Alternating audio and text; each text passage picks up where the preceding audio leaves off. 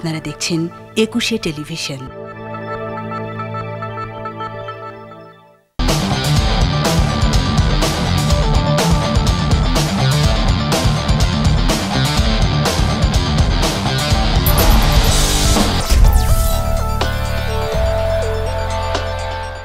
একুশে টেলিভিশনের নিয়মিত তথ্য প্রযুক্তিমূলক অনুষ্ঠান ইটেকের আজকের আয়োজনে সবাইকে স্বাগত জানাচ্ছি আমি ফারজানা বিথি।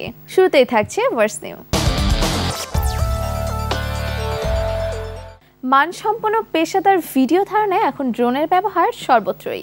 বাজারে একের পর এক আসছে উচ্চ ক্ষমতা সম্পন্ন ড্রোন। এবার প্রথমবারের মতো অসাধারণ কার্যক্ষমতার ড্রোন নিয়ে আসলো অ্যাকশন ক্যামেরা নির্মাতা প্রতিষ্ঠান গোপ্রো। সহজে নিয়ন্ত্রণ করতে পারা থেকে শুরু করে হাই রেজুলেশনের ভিডিও ধারণ পর্যন্ত অসাধারণ বৈশিষ্ট্যের এই ড্রোনটি সম্প্রতি ব্যবহারকারীদের জন্য মুক্ত করেছে গোপ্রো।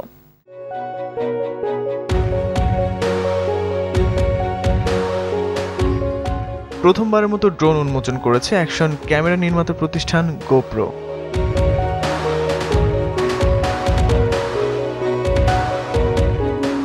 কার্মা নামের অসাধারণ এই ড্রোনটি অন্য সব সাধারণ ড্রোনের মতো নয়। সহজে নিয়ন্ত্রণে সক্ষম এই ড্রোনটির ক্যামেরায় যে দৃশ্য ধারণ করা হবে, তা দেখতে পারার পাশাপাশি হলিউড ক্যালিভার ফিচারের মাধ্যমে এই ড্রোনটি গোপ্রো ক্যামেরার হাতের ঝাঁকুনি স্থির করে ছবি তুলতে সক্ষম।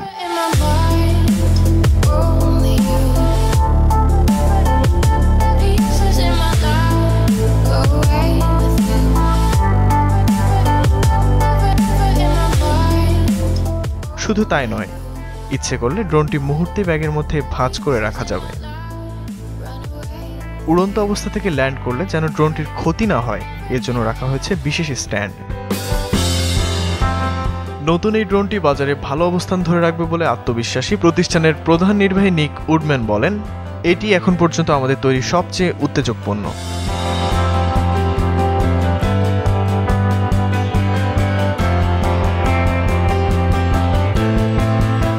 মানসম্পন্ন পেশাদার ফুটেজ ধারণ করতে এটি অবশ্যই সবচেয়ে নির্ভরযোগ্য ড্রোন। কার্মা ড্রোনটির মূল্য ধরা হয়েছে সাতশো নিরানব্বই মার্কিন ডলার। এই ক্ষেত্রে ক্যামেরার জন্য আলাদা মূল্য পরিশোধ করতে হবে গ্রাহককে। হিরো ফাইভ সেশন ক্যামেরা সহ ড্রোনটির মূল্য পড়বে নয়শো নিরানব্বই ডলার।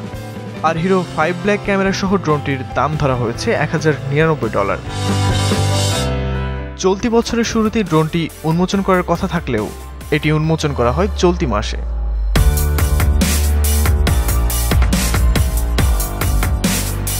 গোপ্রো এর সাফল্য নিয়ে উডম্যান আরও বলেন, এটি এখন বিশ্বের অন্যতম ব্র্যান্ড।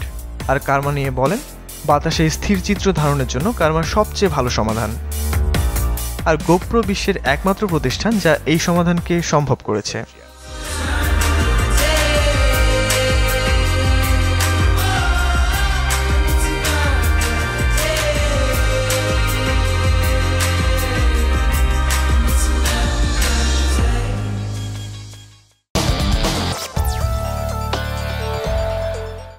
রহস্যময় মহাকাশ নিয়ে কৌতূহলের শেষ নেই আমাদের। শুধু আমাদের নয়, বিজ্ঞানীদেরও কৌতূহলের কেন্দ্রবিন্দুতে যেটি সব সময় ছিল তা হলো মহাশূন্যে প্রাণের অস্তিত্ব।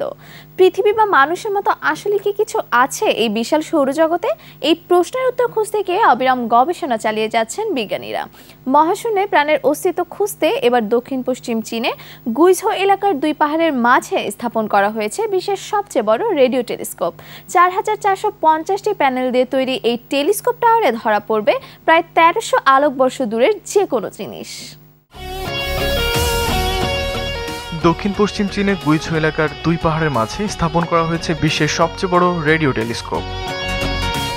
পাঁচ নামে পাঁচশো মিটার দৈর্ঘ্যের এই অ্যাপারচার স্ফেরিক্যাল রেডিও টেলিস্কোপটি মহাকাশে মানুষ ছাড়াও আর অন্য বুদ্ধিমান প্রাণের সন্ধান ও তা নিয়ে গবেষণার কাজে ব্যবহৃত হবে।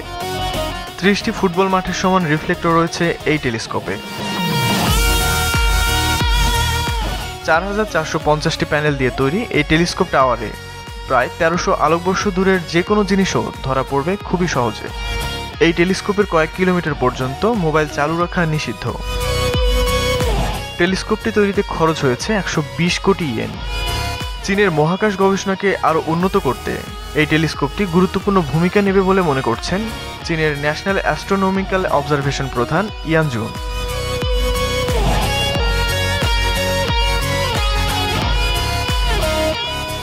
দুই হাজার এগারো সালে ফার্স্ট নির্মাণের কাজ শুরু হয়। চলতি বছরের ফেব্রুয়ারিতে এই প্রকল্পের জন্য ভালো পরিবেশ করতে ওই এলাকার আশপাশে দশ হাজার মানুষকে সরিয়ে পুনর্বাসনের উদ্যোগ নেন স্থানীয় কর্মকর্তারা।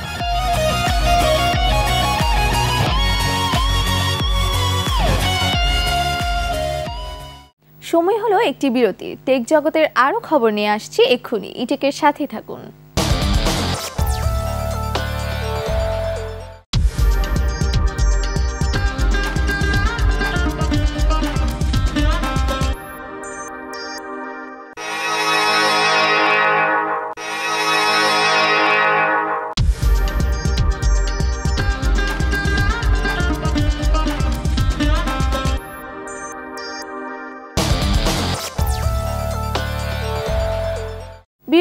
ইটেকে সবাইকে আবারও স্বাগত জানাচ্ছি আমি ফারজানা বিথি।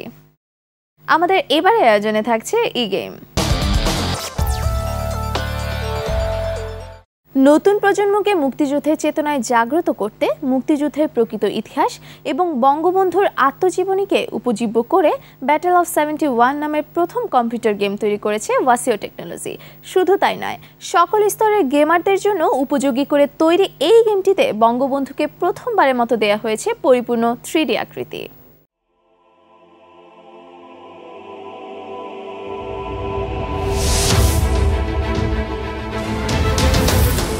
বাংলাদেশের মহান মুক্তিযুদ্ধকে নিয়ে প্রথমবারের মতো তৈরি হলো computer game.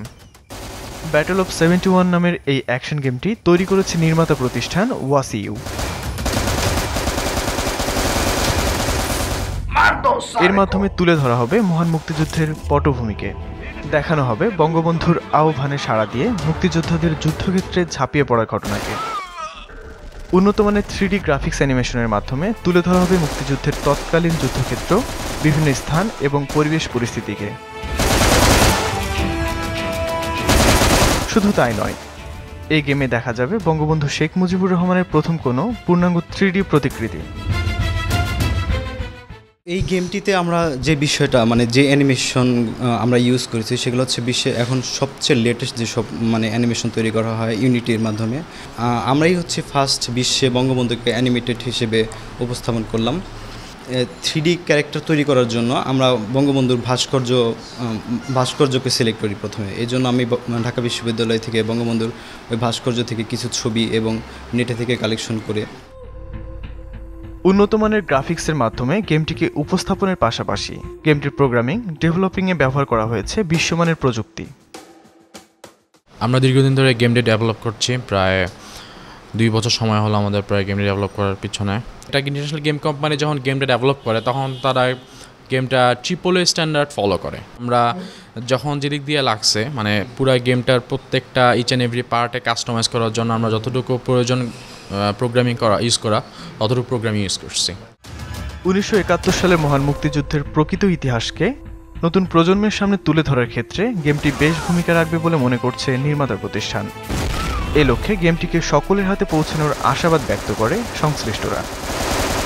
আমরা আমাদের এই ব্যাটেল অফ সেভেন্টি ওয়ানকে আমরা গ্লোবালি লঞ্চ করতে চাই এবং আমাদের মেন টার্গেট হচ্ছে যে আমরা ওয়ান মিলিয়ন যারা গেমার আছে তারা আমাদের গেমটা খেলবে। এবং তারা এই গেমটা খেলে বাংলাদেশের মুক্তিযুদ্ধের ইতিহাসটাকে বাস্তবে তারা যদিও যে এখানে কোনো ফ্রিডম ফাইট করতে পারছে না বাট ভার্চুয়াল জগতে যাতে করে তারা এই ফিলটা পায় যে what was the actual scenario in nineteen seventy one বাংলাদেশের নতুন প্রজন্মরা খেলে বাংলাদেশের যে ইতিহাস, বাংলাদেশের যে ঘটনা ঘটেছিল উনিশশো একাত্তর সালে, সেটা যেন তারা ঠিকমতো জানতে পারে, সঠিক ইতিহাসটা যেন জানতে পারে। মহান মুক্তিযুদ্ধের সাথে সাথে বঙ্গবন্ধুর যে নেতৃত্ব ছিল সেটাও যেন নতুন প্রজন্ম জানতে পারে। আসলে আমাদের টার্গেট হচ্ছে যে বাংলাদেশের দশ লাখ মানুষ অ্যাটলিস্ট ওয়ান মিলিয়ন পিপল এটা খেলুক। আর এটা যেন বাংলাদেশের একটা গেমিং ইন্ডাস্ট্রি যেন এই গেমটা দিয়ে শুরু হয়ে যেন আমরা একটা গেমিং ইন্ডাস্ট্রি তৈরি করতে পারি।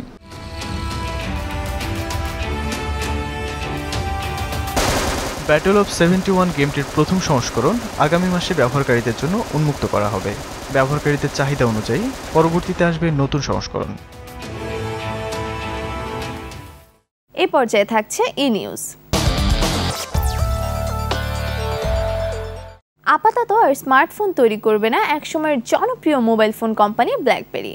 এখন থেকে ব্ল্যাকবেরি ফোন তৈরি করবে অন্য কোনো প্রতিষ্ঠান। কানাডা ভিত্তিক এই প্রযুক্তি প্রতিষ্ঠানটির পক্ষ থেকে জানানো হয়েছে, অভ্যন্তরীণ সব হার্ডওয়্যার ডেভেলপমেন্ট বন্ধ করে হার্ডওয়্যার ভিত্তিক সব কাজ তাদের অন্যান্য অংশীদার প্রযুক্তি প্রতিষ্ঠানগুলো করে থাকবে। এর বদলে তারা জোর দেবে সফটওয়্যার এবং সার্ভিসের ওপর। এই মুহূর্তে ব্ল্যাকবেরির সাথে ইন্দোনেশিয়া ভিত্তিক বিবি মেরাপুটি নামের একটি প্রতিষ্ঠানের অংশীদারিত্ব রয়েছে হার্ডওয়্যার নির্মাণের ক্ষেত্রে। তবে যতদূর জানা গেছে, কোনো রকমের নতুন হার্ডওয়্যার নির্মাণের দিকে আগ্রহ নেই ব্ল্যাকবেরির আইওএস এবং অ্যান্ড্রয়েড অপারেটিং সিস্টেমের দাপটে হ্রাস পেয়েছে স্মার্টফোন ব্ল্যাকবেরির জনপ্রিয়তা। বাজার ধরে রাখার বিভিন্ন চেষ্টা করেও সফল হয়নি তারা। সর্বশেষ অ্যান্ড্রয়েড ভিত্তিক ব্ল্যাকবেরিও সাফল্য পায়নি।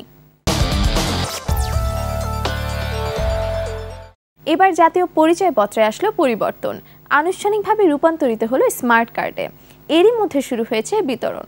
সম্প্রতি রাজধানীর ওসমানী স্মৃতি মিলনায়তনে চোখের মনির ছবি ও আঙুলের ছাপ দিয়ে স্মার্ট কার্ড গ্রহণের মধ্য দিয়ে এই কার্ড বিতরণ কার্যক্রমের উদ্বোধন করেছেন প্রধানমন্ত্রী শেখ হাসিনা। এরপর উদ্বোধনী অনুষ্ঠানে বাংলাদেশ ক্রিকেট দলের খেলোয়াড়দের হাতে স্মার্ট কার্ড তুলে দেওয়া হয়। প্রথম ধাপে রাজধানীর এক উনিশ বিশ ও একুশ নম্বর ওয়ার্ডে এবং পরবর্তী ধাপগুলোতে বাংলাদেশের সকল জেলা ও উপজেলায় ভোটারদের মাঝে বিতরণ করা হবে এই কার্ড। স্মার্ট কার্ডে ব্যক্তির নাম পিতামাতার নাম জন্ম তারিখ ও জাতীয় পরিচয়পত্র নিবন্ধন নম্বর থাকছে। কার্ডের পেছনে থাকবে ব্যক্তির ভোটার এলাকার ঠিকানা রক্তের গ্রুপ ও জন্মস্থান। সব মিলে স্মার্ট কার্ডের মধ্যে থাকা চিপ বা তথ্য ভাণ্ডারে বত্রিশ ধরনের তথ্য থাকবে যা মেশিনে পাঠযোগ্য হবে। যাদের বয়স আঠারো বছরেরও কম তারাও যাতে এবং এখনও ভোটার হওয়ার যোগ্য নয়, কিন্তু তারাও যেন একটা পরিচয়পত্র পায়, সে ব্যবস্থাও নেওয়া হচ্ছে এবং এটা একটা নীতিগত সিদ্ধান্ত হয়ে গেছে। আমি মনে করি যে তাদের অর্থাৎ নাগরিক সকলেরই পরিচয়পত্রটা থাকা প্রয়োজন। নিচ্ছি আরেকটি ছোট্ট বিরতি। তথ্য প্রযুক্তির আরও খবর নিয়ে ফিরছি খানিক বাদেই।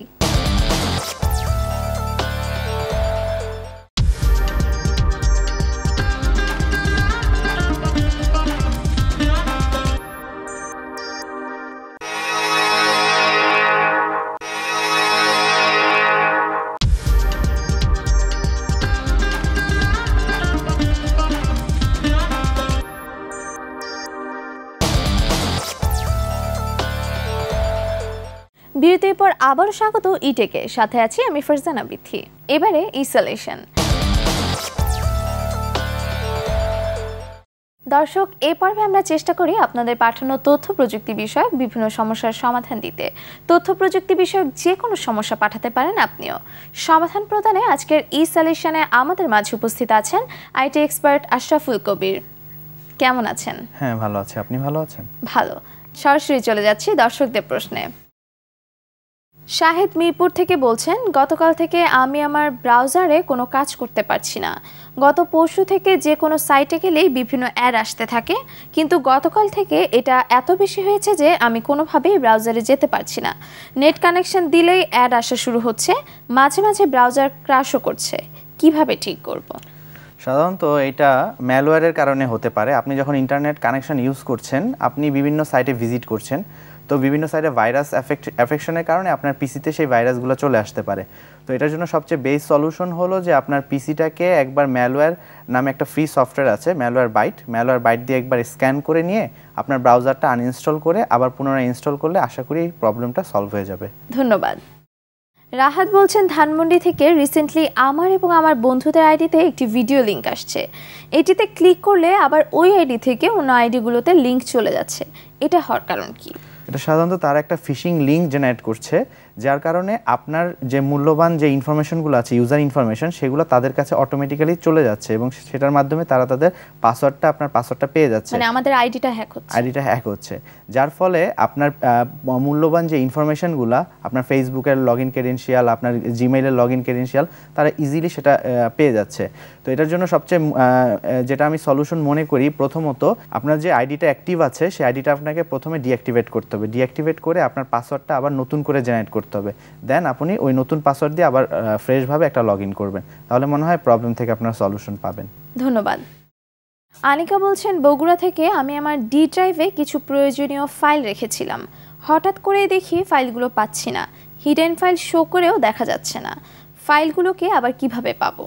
এটা সাধারণত মাঝে মাঝে ভাইরাস অ্যাফেকশনের কারণে আপনার পিসিতে ভাইরাসগুলো থাকার কারণে আপনার ফাইলগুলো করাপ্ট হয়ে যায় নষ্ট হয়ে যায়।